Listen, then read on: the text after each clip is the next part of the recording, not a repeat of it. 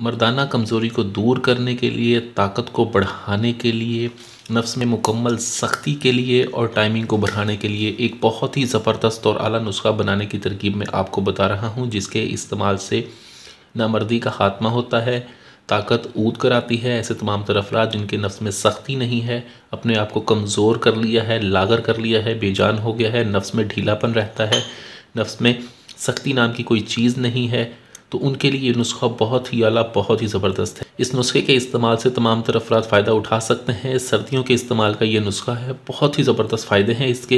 ये नफ्स में सख्ती को मुकम्मल करता है, तमाम तर कमज़ोरी को दूर करके मर्द कामिल बनाता है। इस नुस्खे को किस तरह बनाना है और इसमें किन चीज़ों का इस्तेमाल है, इसकी मुकम्मल तरकीब मैं आपको बताऊँगा। इसलिए वीडियो को एंड तक लाजमी देखें, कोई भी स्टेप मिस ना करें। ये नुस्खा पहले मैंने बनाया था, लोगों को दिया, बहुत पसंद आया। अब फिर मुझे इस नुस्खे का ऑर्डर आया था, मैं किसी बंदे के लिए नुस्खा बना रहा था, मैंने सोचा आपके साथ भी शेयर कर लूँ। नुस्खा क्या है, चलिए शुरू करते हैं, लेकिन इससे पहले अगर आपने अभी तक हमारे चैनल प्योर देसी टिप्स को सब्सक्राइब नहीं किया तो बर मेहरबानी सब्सक्राइब कर लें और साथ ही खड़े बेलाइकन को दबाना हरगिज़ ना भूलें, ताकि हमारी हर आने वाली नई वीडियो का नोटिफिकेशन आप लोगों को मिल सके। असलम दोस्तों, मैं हूँ आपका होस्ट हकीम मोहम्मद जावेद। आज का हमारा नुस्खा है वो क़वत बा के लिए बहुत ही ज़बरदस्त अक्सीर की हैसियत रखने वाला नुस्खा है। इसके इस्तेमाल से मर्दाना कमज़ोरी ख़त्म होती है, ताकत ऊद कर आती है, नफ्स के ढीलेपन को ख़त्म करके कामिल ताकत देता है। चलिए नुस्खा शुरू करते हैं। इसमें सबसे पहले हमें जो चीज़ चाहिए होगी, वो है केचवे खुश्क। केचवे चाहिए हमें साफ़शुदा ढाई तोला। ढाई तोला हमें केचवे खुश्क चाहिए, ठीक है? इसके बाद हमें चाहिए होगा बोहड़ का दूध डेढ़ तोला। डेढ़ तोला आपने बोहड़ का दूध लेना है, ठीक है? उसके बाद हमने जो चीज़ इस्तेमाल करनी है, वो है सालिम मिश्री। साले मिश्री का हमने इसमें इस्तेमाल करना है एक तोला। असगन नगोरी का हम इसमें इस्तेमाल करेंगे एक तोला।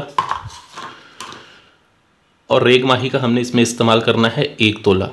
इसके बाद हमें जो चीज़ चाहिए होगी वो पाँच जड़ का हम इसमें इस्तेमाल करेंगे छः छः माशा।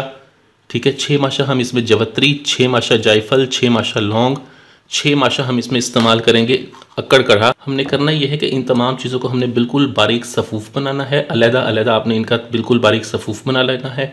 बिल्कुल बारीक सफ़ूफ़ बना के आपने इसमें डेढ़ तोला जो दूध होगा, बोहड़ के दरख्त का, वो इसके अंदर डाल के इसको अच्छी तरह से मिक्स करके खरल करते रहना है और उसको दूध को इसके अंदर जज़ब करना है। जब दूध इसमें बिल्कुल अच्छी तरह से जज़ब हो जाए और ये पाउडर बिल्कुल खुश्क हो जाए, तब आपने इसको संभाल के किसी शीशे की बोतल में महफूज करके रख लेना है। रोज़ाना सुबह के वक्त इसकी एक माशा खुराक लेनी है। आपने उस एक माशा पाउडर को आपने मक्खन या मलाई के अंदर, मक्खन और मलाई जो आपने इस्तेमाल करना है, वो कम अज़ कम भी एक तोला होना चाहिए, उसके अंदर लपेट के आप ये खिला दें। इसके एक हफ़्ते के इस्तेमाल से तमाम तर कमज़ोरी दूर होती है, नफ्स के ढीलेपन को ख़त्म करता है, नफ्स में सादगी को मुकम्मल करता है। बहुत ही आला, बहुत ही अक्सर नुस्खा है। इस नुस्खे को आप बना सकते हैं तो बनाएँ, अगर नहीं बना सकते तो बना बनाया हमसे मंगवाने के लिए स्क्रीन पर दिए गए नंबर पर रबता करें। वीडियो अच्छी लगी हो तो वीडियो को लाइक करें, वीडियो को शेयर ज़रूर कर दिया करें, ताकि दूसरे लोग भी इससे फ़ायदा उठा सकें। मुझे अगली वीडियो तक के लिए इजाज़त दें। अपनी सेहत का बहुत ख्याल रखें। शुक्रिया। अल्लाह हाफिज़।